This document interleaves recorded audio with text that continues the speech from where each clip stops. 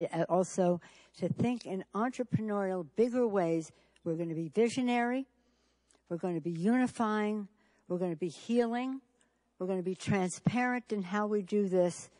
We're going to be respectful of other views. But we are going to, as we're going to try to find our common ground where we can. We have a responsibility to do that.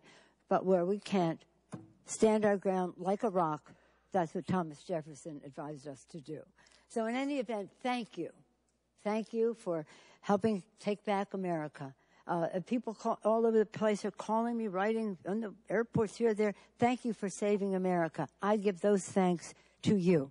Thank you for saving America. Reverend Sharpton, thank you for saving America. Thank you, Thank you. Give a hand, Nancy Pelosi.